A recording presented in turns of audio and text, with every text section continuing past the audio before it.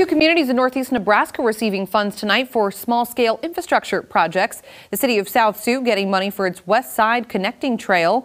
The Winnebago Tribe of Nebraska obtaining funds for the Winnebago Child Care Center and the roundabout they're constructing there. They are two of 13 communities recipients of a combined $50 million in federal grant awards. This is part of the 2023 Transportation Alternatives Project federal grant program. Nebraska's Department of Transportation says this is the biggest amount funded in the state since that program first began.